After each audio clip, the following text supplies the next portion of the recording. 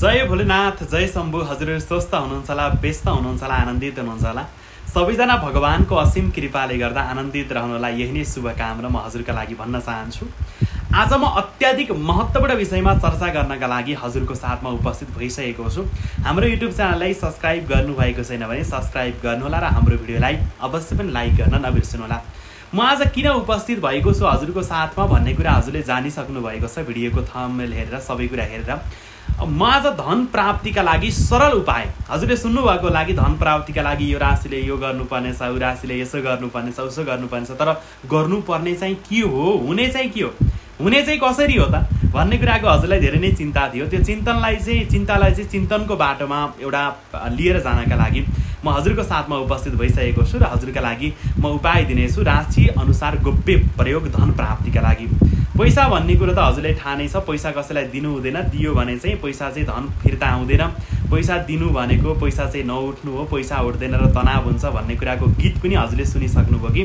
पैसा चाहिँ कसैलाई दिनु हुँदैन पैसा चाहिँ फस्छ पैसाहरूमा चाहिँ समस्या आउँछ भन्ने कुरा चाहिँ हजुरले गीत मार्फत पनि सुनिसक्नु भएको छ। तर म आज हजुरलाई बताउँदैछु कि पैसा कमाउनका लागि पैसा बचत गर्नका लागि राशि अनुसार के कस्तो उपायहरू हामीले जीवनमा अपनाउन सक्छौँ अथवा के कस्ता उपायहरू हामीले गर्न सक्छौँ यति यसैको बारेमा नै म दिव्य चर्चा र परिचर्चा हजुरका लागि राख्नेछु आउनुहोस् ढिला नगरिकन अब भिडियोमा नै प्रवेश गरौँ। मेषदेखि मिनसम्म राशि अनुसार धन कमाउने उपाय धन कमाउने उपाय र धन बचत गर्ने उपाय र राशि अनुसार विशेष तरिकाले हाम्रो आजको टाइटल पनि रहेको छ। धन प्राप्तिका लागि राशि अनुसार गर्नुहोस् यस्ता सरल उपाय। हजुरहरू मालामाल हुनुहुनेछ।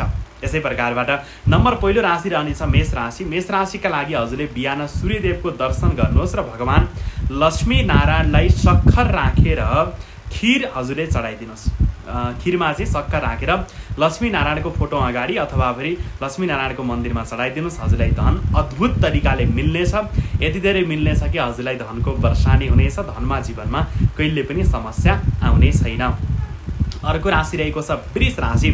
वृष राशिका लागि विशेष तरिकाले बिहान भगवान् शिवको दर्शन गर्नुहोस्। भगवान् शिव भगवान्को बिहान पख चाहिँ दर्शन गर्नुहोस् र हजुरले शुक्रबार शिवलिङ्गमा नटुटेको चामल चढाउनुहोस्। टुटेको यदि चामल चढाउनु भयो भने त हजुरको पैसा झन् धेरै फस्छ। यदि हजुरले विशेष तरिकाले बिहान भगवान् शिवजीलाई के गर्नुहोस् हजुरले? शुक्रबारको बिहान शिवजीलाई नटुटेको चामल भनेको सर्लक्क परेको चामल लामा लामा जो राम्रो चामल हुन्छ नि त्यो चामल चाहिँ हजुरले चढाइदिनुहोस् त्यो गर्नुभयो भने हजुरका लागि धन प्राप्ति हुन्छ र हजुरहरू धनबाट मालामाल बन्न सक्नुहुनेछ। धन प्राप्तिको मालामाल उपाय। यसै प्रकारबाट अर्को राशि रहेको छ मिथुन राशि। मिथुन राशिले धन प्राप्तिका लागि के गर्नुपर्छ भन्ने कुराको जानकारी म हजुरका लागि दिँदैछु। बिहान देवी लक्ष्मीजी वा देवी दुर्गाको दर्शन गर्ने बिहानको समयमा देवी दुर्गाजीको दर्शन गर्ने र गणपति भगवान्लाई चाहिँ रातो फुल चढाउने। हजुरले रातो फुल गणेशजीलाई यदि अर्पण गर्नुहुन्छ भने दैनिक रूपमा हजुरका लागि धन प्राप्तिको उपाय हजुरका लागि सरल रहनेछ।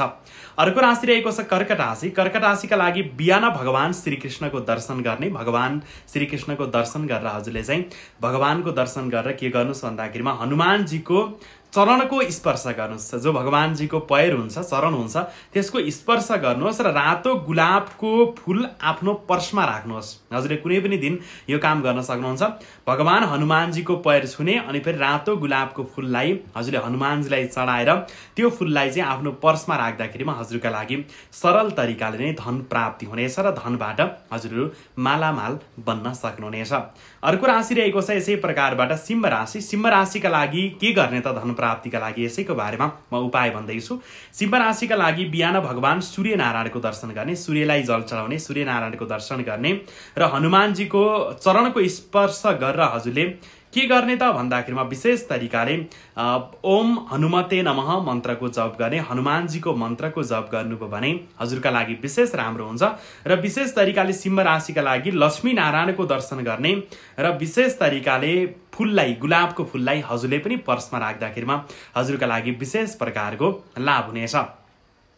अर्को राशि रहेको छ कन्या राशि। कन्या राशिले धन प्राप्तिका लागि के उपाय गर्नुपर्छ भन्ने कुराको म हजुरका लागि जानकारी दिँदैछु। कन्या राशिले बिहान भगवान् गणेशको दर्शन गर्ने। भगवान् गणेशको दर्शन गरिसकेपछि देवी दुर्गालाई सेतो चामल चढाउनु होला हजुरले। देवी दुर्गाजीको मन्दिर गएर विशेष तरिकाले सेतो चामल चढाउने र गणेशजीको दर्शन हजुरले दैनिक रूपमा गर्नुभयो भने हजुरका लागि धन प्राप्ति सरलतासँग हुनेछ। अर्को राशि रहेको छ तुल राशि तुल राशिका लागि धन प्राप्तिका लागि के गर्नुपर्छ भन्ने उपायमा चाहिँ भगवान् लक्ष्मीनारायणजीलाई कमलका फुलहरू हजुरले अर्पण गर्नुहोस्। कमलका फुलहरू हजुरले लक्ष्मीनारायणको मन्दिरमा लगेर चढाइदिनुहोस्। हनुमानजीलाई पाँच लड्डु चढाइदिनुहोस् है।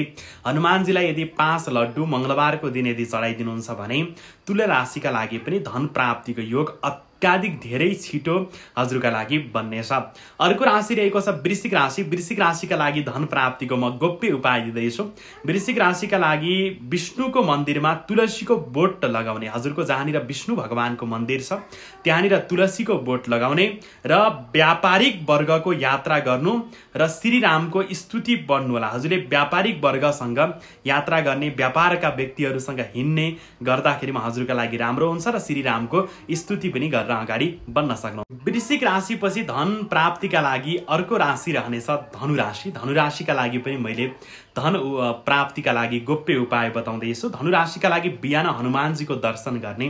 हजुरले बिहान पख दैनिक रूपमा हनुमानजीको दर्शन गर्ने र पिपलको रुख मुनि मिठाई चढाइदिने। पिपलको जो बोट हुन्छ जो जरानिर हुन्छ त्यहाँनिर हजुरले चाहिँ मिठाई चढाइदिनुहोस् र भगवा तिलक लगाउनुहोस् अथवा पहेँलो तिलक लगाएर खैरो तिलक लगाएर हजुरहरू चाहिँ अगाडि बढ्न सक्नुहुन्छ।